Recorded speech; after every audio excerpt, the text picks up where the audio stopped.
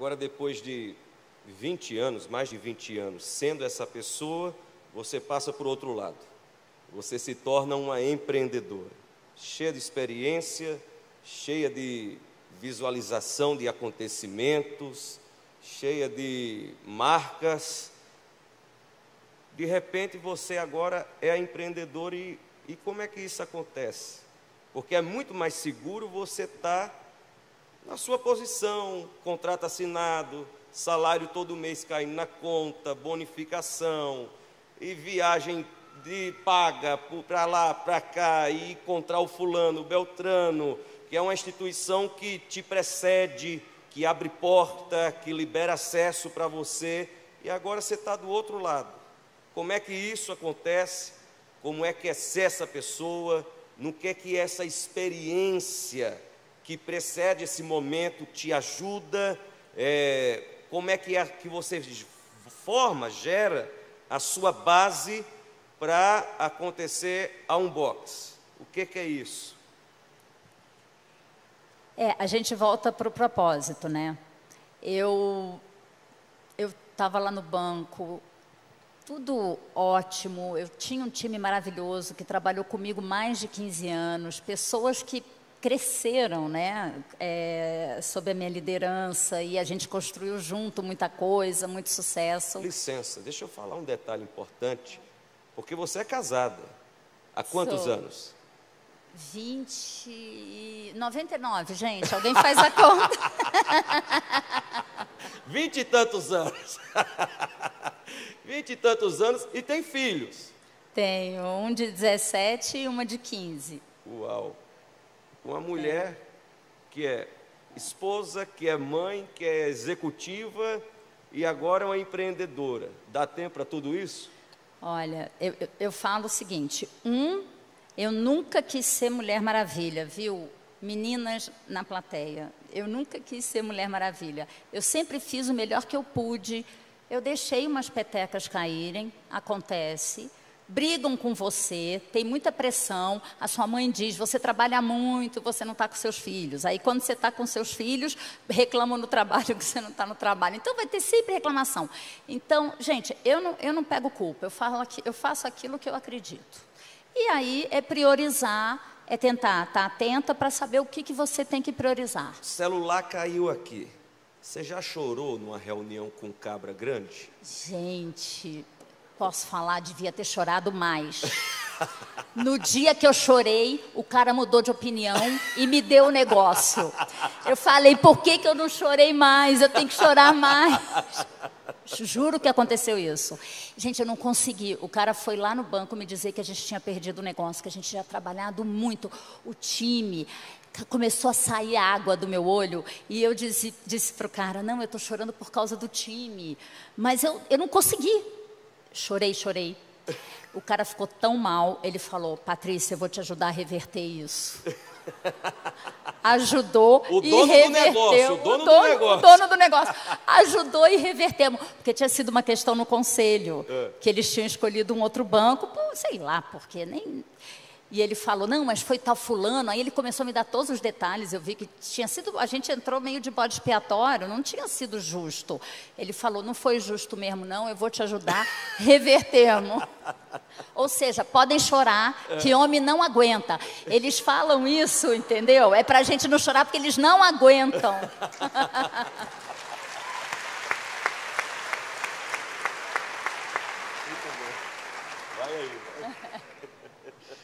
É verdade.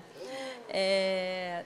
Não, e mulher é uma coisa interessante, né? Porque ela tem que lidar com esses executivos, com esses negócios grandes, ainda com o menino, com o marido, com o TPM, meu Deus do céu, e ainda tem que chorar para reverter o negócio. Deus amado. É, mas eu falo assim, a gente vai priorizando, né? A gente tem que estar atento. Às vezes, sim, a prioridade é o trabalho. Você está fazendo um negócio importante, você está 100% ali e a peteca cai um pouquinho em casa. Às vezes você está com um filho doente, você sai mais cedo, tá bom, alguém pode não gostar, problema deles, e você vai cuidar. Eu acho que você tem que estar tá atenta para as prioridades. Eu estava falando, eu nunca tentei ser perfeita, a, a peteca cai, E, e, cai bastante, né? Porque a sua casa não é a mais limpa, os seus filhos não são os mais bem educados, você também não é a mais disponível no trabalho, o seu marido não é, você não é a mais romântica, eu nem me lembro há quantos anos eu estou casada. Mas, mas as coisas vão se acertando, porque eu acho que quando as pessoas te veem realizada e veem que você está tá feliz, as, a, as pessoas vão aceitando a, as suas limitações, né? Acho que essa que é o, essa que é a verdade. O ser real, né? É você é de verdade. Você não é um personagem, é né? Exatamente. E eu acho que isso, inclusive, cria empatia. Eu tive situações também, por exemplo, eu tinha muito cliente homem, né? Porque é presidente de empresa, diretor financeiro, é conselheiro. E eu tinha oportunidade, às vezes, de conhecer as esposas, e eu adorava conhecer as esposas. Porque é muito chato, às vezes você tem que falar alguma coisa à tarde, da noite, tem que ligar, mandar uma mensagem, e é uma intrusão, né? Você está se metendo na vida da pessoa fora do horário.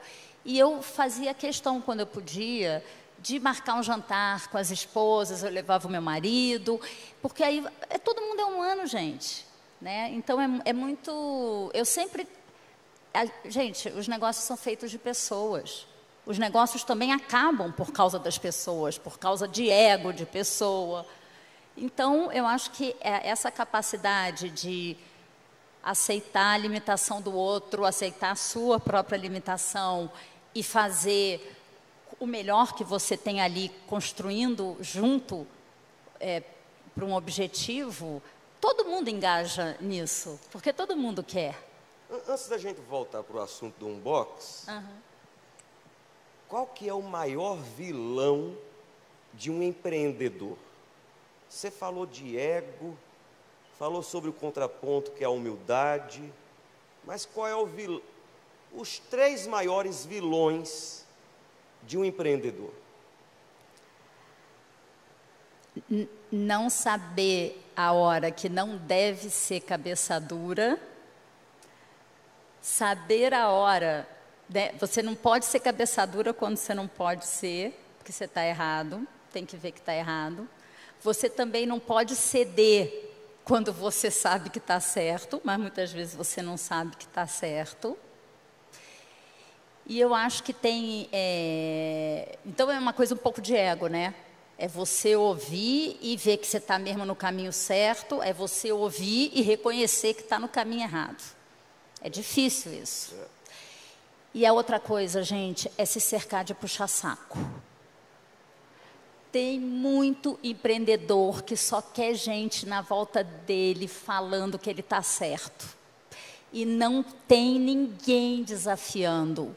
Para mim, isso é a fórmula do fracasso.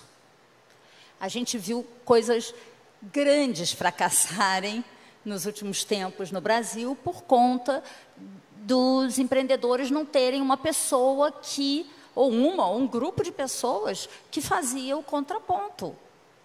E de que falar trocava. que está errado, de falar que tomou a direção, a, di a decisão errada.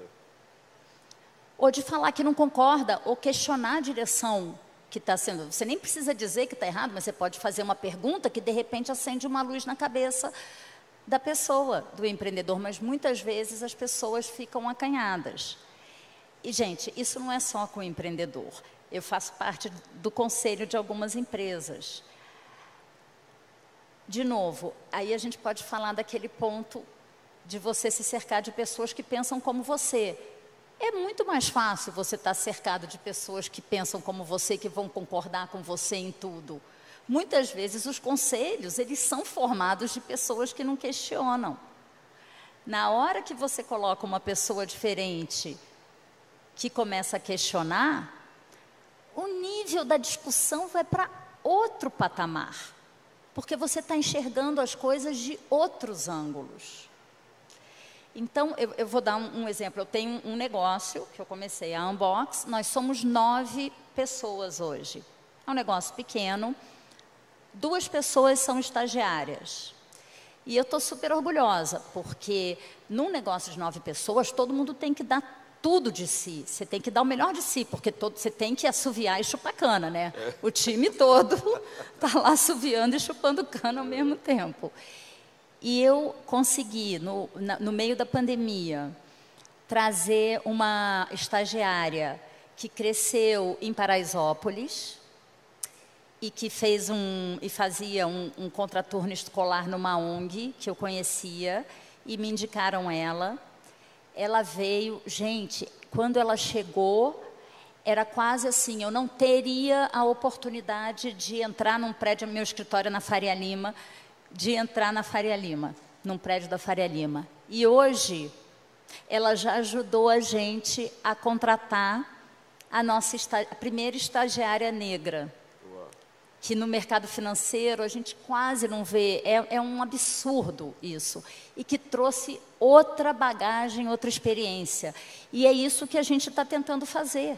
A gente está tentando trazer outras visões, porque se todo mundo pensa igual, eu vou fazer investimento errado.